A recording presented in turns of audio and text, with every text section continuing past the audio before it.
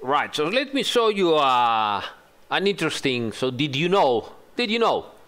Uh, Donington. Yes, of course. We have the um, uh, the airport, and the airplanes are, you know, um, landing on the airport and everything. But um, did you know that this clock here actually shows in real time the clock of the day in the game. So right now, at the top of the screen, you can see we are at uh, 12 and uh, 57 minutes, and the clock, of course, says 12 and uh, 57 minutes. And if we wait for a minute or so, and we go into 58 minutes after a while, because it takes some time, you know, you know, clocks always uh, maybe losing a couple of seconds, uh, it will, uh, you know, change into 58.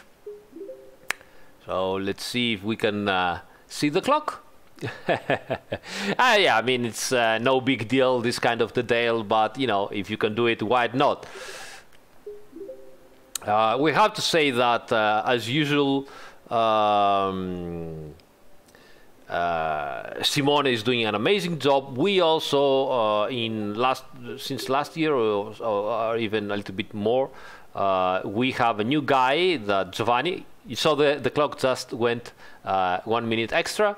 We have a new guy, Giovanni, that is helping Simone. Uh, he's a junior circuit artist. He's getting better and better and better.